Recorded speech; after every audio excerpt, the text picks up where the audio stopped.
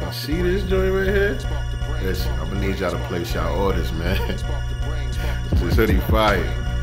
Fire, man. Check it out. When you order the when you order the bundle pack, right?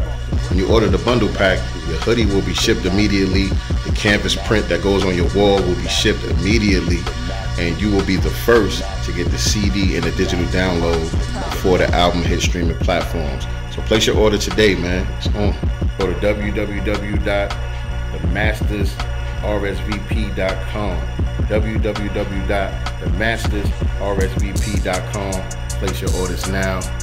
The pre-order is ready. Masters table. Have a seat at the master's table. We ain't asked for no seat. We went and built up our own. You see, it's rather stable. You got two eyes, two ears, you know the rest. Look, listen, and observe, but also respect. In God we trust. It's obvious. The money ain't the root of all evil, but lack thereof. That's why they deprive you of resources. Why they focus on streams of income, at least three sources. We certified, we solidified. And they say they created hip hop, but all that shit is lies. Cause every element came before the development of what we callin' hip hop now. It's all relevant to all the topics we gon' touch on. Spoiler alert, as you play this album, ain't no club songs. Boy, that hurt, but this ain't no conscious album. It's just that real shit, that Black God mantra album. I hope y'all feel this. Oh, and write down your questions so that when you come up, that you're able to just, you know, present it. Yes, ma'am. Sincere.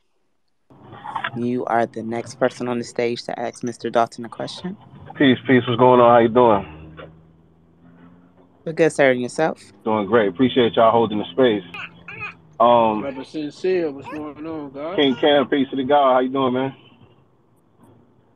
I'm blessed, brother. Yes, indeed. And so, yeah, I also want to mention, yeah, we got some uh five percent of the nation of gods and earths in the building as well, too. Let's let that be known. But um, I want to yes, sir. I want to touch on um the part of the conversation about you know the DNA and all of that stuff.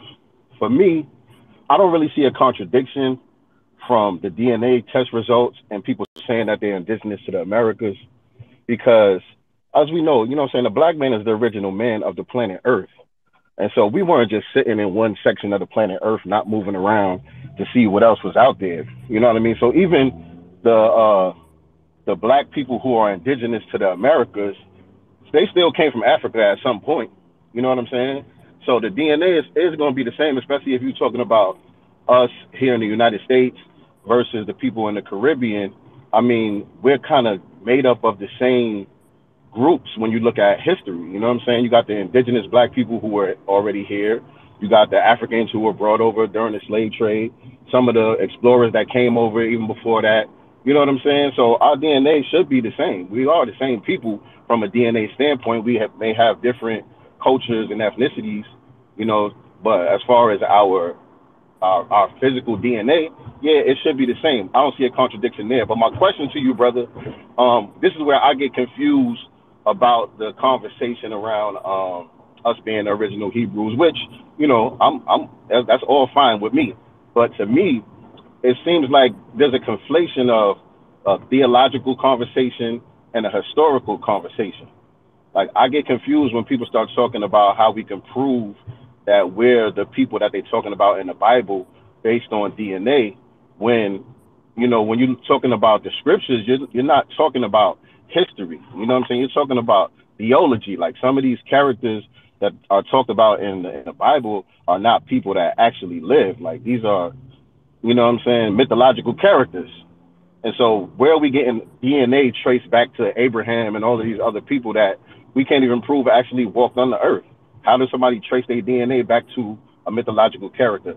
I don't mean that with no disrespect, but that's sincerely like what my confusion is. So you can answer that for me. Yeah, so the the Bantu people in Africa, they have oral histories uh, that's not written in the white man's book. The white man didn't teach them this.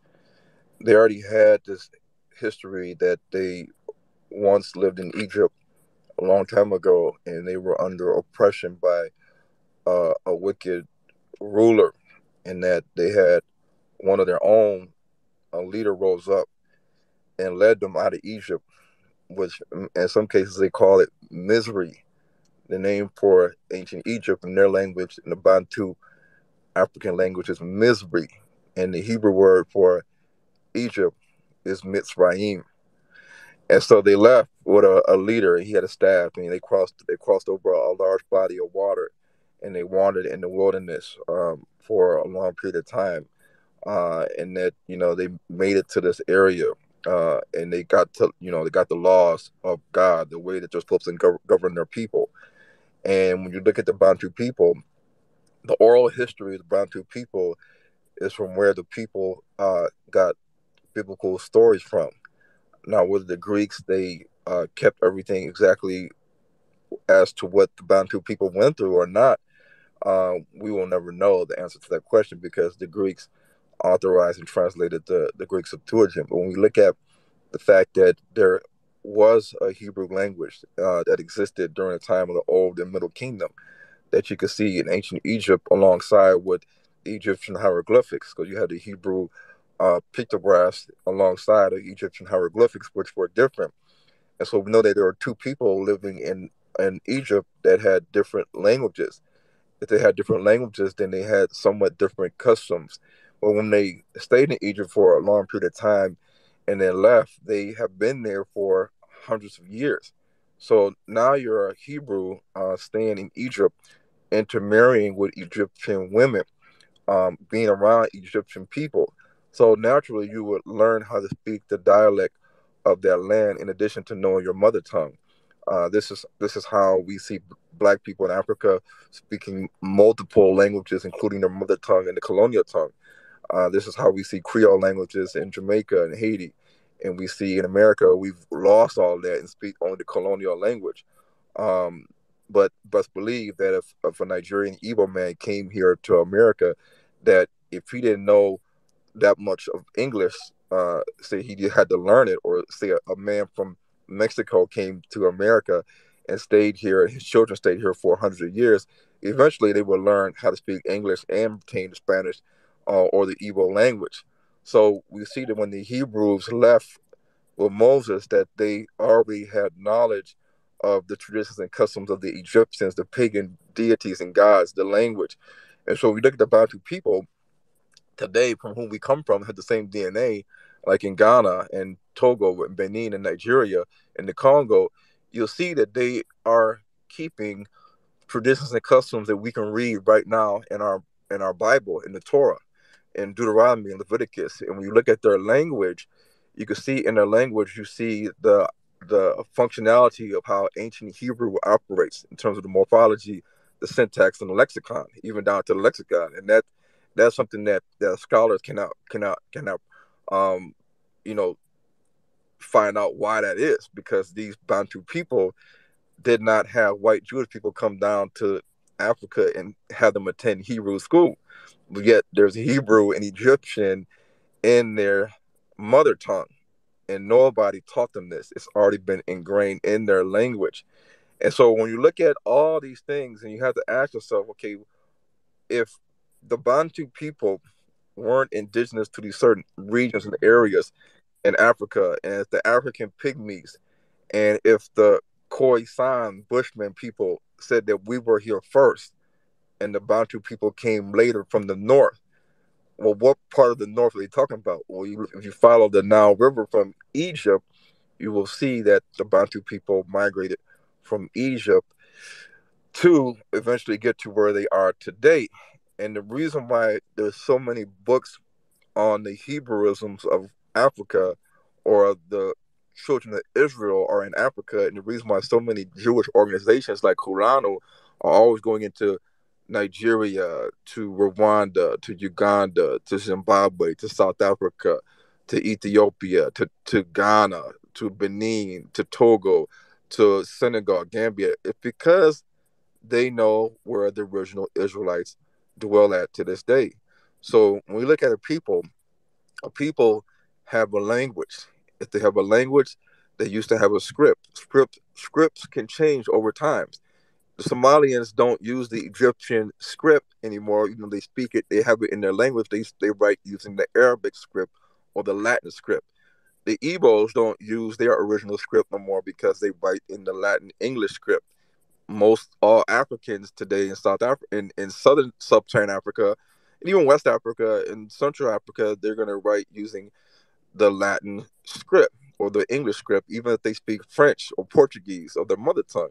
So we have to understand that in addition to this language, they have oral histories that talk about where they come from. And in addition to that, they have traditions and customs which make up culture. And all these things we could see reflecting in the Old Testament with the Israelites of the Bible. So we can we can say we don't believe in the Bible, it's all made up. But the, at the end of the day, we see that there's a people called the Israelites that were given commandments uh, and, and laws and statutes, religious, ceremonial, dietary, moral, all types of facets of society that they are supposed to follow. And it's different than the Sumerians, it's different than the people in India, it's different than people in China, different people in Europe, it's different people um, in ancient Egypt or ancient Kush, Sudan. It's the same as the ancient Israelites traditions and customs. So the ancient Israelites traditions and customs in the Bible, which many people say we don't believe it, it existed, it's not real, it's fictional, it's made up. Well, they can say that all day long, but in the Torah, in the first five books of the Bible, you will see the same exact traditions and customs that the Israelites practice being practiced right now in sub-Saharan Africa with the Bantu people who have the same DNA as us. So who else could they be other than the Israelites of the Bible? Yes, sir. Um, the next person on stage.